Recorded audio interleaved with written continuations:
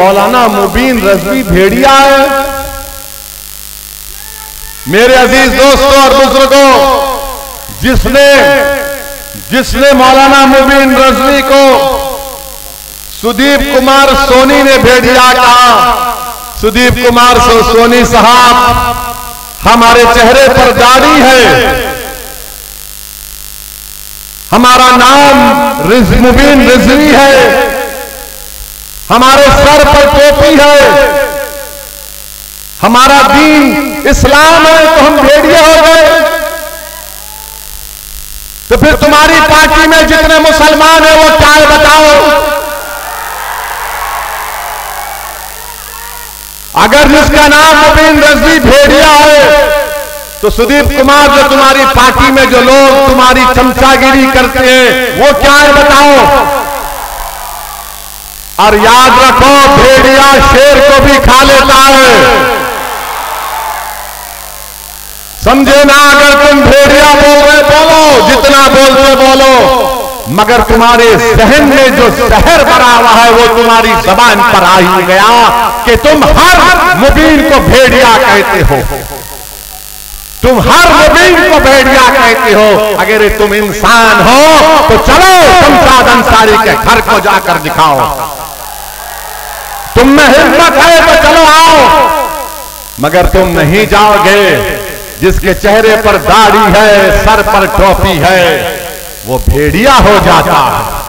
ठीक है, सुदीप कुमार, जब तुम्हारा चुनाव आएगा तो भेड़िए तुमको बताएँगे कैसा शिकार होता है।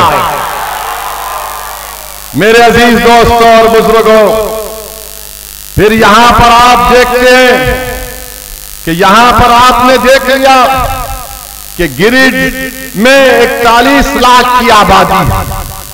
भेड़िया हमको कह दिए, हमको बी टीम कह दिए, इकतालीस लाख की आबादी में सिर्फ़ 25 स्कूल हैं और उसमें एक ही यानी 25 स्कूल है जिसमें से एक या तीन चार है बारहवीं जमात तक। अब ये बच्चे कहाँ पर जाएँगे पढ़ने के लिए?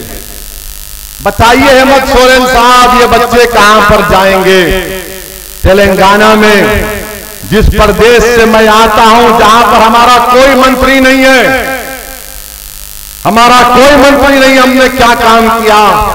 हमने वहाँ पर एक लाख मुस्लिम बच्चे और बच्चियों को 204 गवर्नमेंट के रेजिडेंशियल स्कूल को खुलवाया।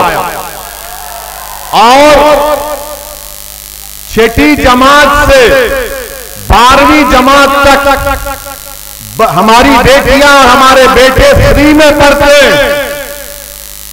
हम मंत्री नहीं बने ना कभी बनेंगे। हमसे कहा भी गया था कि ओवैसी साहब मंत्री बनना है?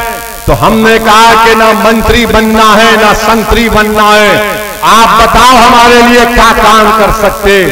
हमने कहा हमारे बच्चियों को, हमारे बेटों को स्कूल खोलो। आपको जानकर खुशी होगी कि एक लाख के करीब मुस्लिम बच्चे और बच्चियाँ तेलंगाना में छठी जमात से फ्री में पढ़ रही हैं। और मेरे पार्लियामेंट के इलाके में मैंने एक जूनियर कॉलेज को खुलवाया। इलेवेंथ और ट्वेल्थ में उस जूनियर कॉलेज के पाँच बच्चे पाँच बच्चे नीट क्वालिफाई होकर गवर्नमेंट के मेडिकल कॉलेज में फ्री सीट लाकर अब मेडिसिन डॉक्टर बन रहे हैं।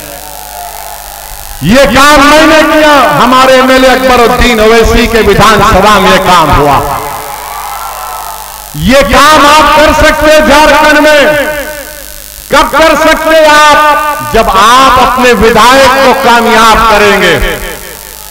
जब आप सियासी ताकत हासिल करेंगे। मगर अगर आप सिर्फ़ यही सोचते रहेंगे कि नहीं नहीं हमको वोट डालना है। हमको वोट डालना है। तो फिर वोट डालने का मतलब यही होगा कि तुम वोट तो डाल रहे हो मगर अपने लिए नहीं डाल रहे हो। अपने बच्चों की तालीम के लिए वोट नहीं डाल रहे हो। अपनी जान की हिफाजत के लिए वोट नहीं डाल रहे हो। क्योंकि जब तुम वोट डाल रहे हो तो शमशाद कैसे मरा बताओ मुझे। इतने लोग कैसे मर गए जब तुमने वोट डाला? अब झारखंड मुक्ति मोर्चा के लोग बोलेंगे, यहाँ की सरकार बोलेगी। अरे ओवैसी तेलंगाना की सरकार में बहुत पैसा है। हम गरीब प्रदेश है। नहीं नहीं, गरीब तुम नहीं हो। 2019 और 20 में झारखंड सरकार को मिनरल्स में पाँच हज़ार एक सौ पैंसठ करोड़ रुपये मिला। पाँच हज़ार एक सौ पैंसठ करोड़ रुपए मिला है। कहाँ गया ये? किसकी जेब में गया पैसा ये? किसकी जेब में गया बताओ? गरीब के जेब में तो नहीं गया। गरीब के बच्चे तो शिक्षा से नहीं कर रहे पाँच हज़ार एक सौ पैंसठ करोड़ रुपए इनको मिले। और फिर हम पर इल्ज़ाम लगाते कि ओवैसी आएगा तो बीजेपी को फ़ायदा होगा। तो ये बताइए कि झारखंड के एक मिनिस्टर हैं, मिथिलेश ठाकुर उनका नाम। वो मालूम मुझे है वो। मिथिलेश ठाकुर है। मिथिलेश ठाकुर ने 6 दिसंबर के दिन मिठाई बांटी। अरे तो 11 रब्बी लवल के दिन भी मिठाई बांटता? आखा की आमद की खुशी में मनाता, मिठाई खिलाता। मगर मंत्री ने कहा कि नहीं 6 दिसंबर को हम बांटेंगे, मिठाई खिलाएँगे, क्योंकि उस दिन बाबरी मस्जिद को शहीद किया गया। हेमंत सोरेन, ये आपका सेकुलरिज्म है।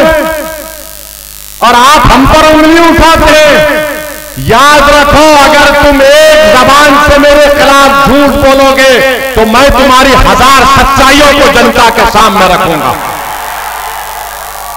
अब आप देखिए इनका रिकॉर्ड अब इतना तो हेमंत सोरेन के लिए काफ़ी अब थोड़ा मोदी पे भी बोलते हैं। वरना कांग्रेस के लोगों में तो रात में नींद नहीं आएगी। हेमंत सोरेन को भी जरा बेचैनी होगी करवटे लेंगे कि ये क्या क्या सच्चाई को बयान करके चला गया। फिर कोई कांग्रेसी बोलेगा या हेमंत सोरेन के पास का बोलेगा मोदी को नहीं बोले। अरे मोदी को तो हम ही बोल रहे हैं नौ साल से तुम तो गूँगे बनकर बैठे हो। तुमने क्या तीन मरतबा बीजेपी से डिप्टी चीफ मिनिस्टर नहीं बने हो मैं हेमंत सोरेन? क्या बीजेपी और तुमने आरएसएस का दामन नहीं थामा? और तुमने थामा और हम उनसे सीना तान कर मुकाबला कर रहे हैं।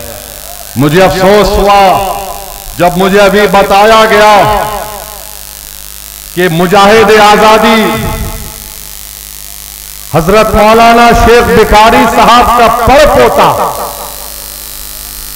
शेख भिखारी साहब जिसने अंग्रेज़ों की गुलामी से देश को आज़ाद कराने के लिए झारखंड का अजीम सपूत उनका पड़ पोते को 24 अगस्त 2023 को मंदर ब्लॉक रांची में, जिसका नाम बिट्टू खान है, उसको मॉब लिंचिंग कर दी गई। वो अब दवाखाने में अपनी ज़िंदगी और मौत की लड़ाई लड़ रहा है। शेख बिकारी साहब का पड़ पोता वो बेचारे जो इस देश को आज़ाद कराने के लिए अपना सब कुछ कुर्बान कर दिए। और जालिमों ने उनके पड़ पोते को माँ पीट पीट कर अस्पताल को पहुँचा दिया। और अभी तक उस केस में कोई एफआईआर नहीं हुआ, हमको बताया जा रहा बताइए, आप इल्ज़ाम हम पर लगता है?